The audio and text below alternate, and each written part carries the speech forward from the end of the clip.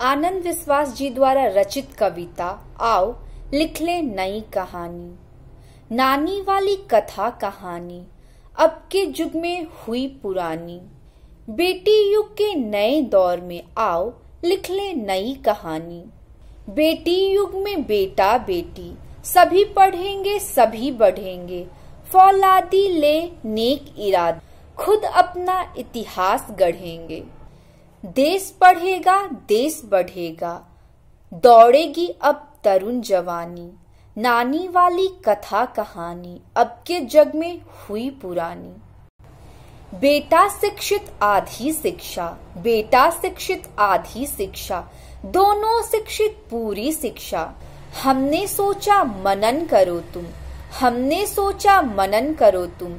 सोचो, समझो, करो समीक्षा। सारा जग शिक्षा में करना, हमने सोचा मन में ठानी। नानी वाली कथा कहानी, अब के जग में हुई पुरानी।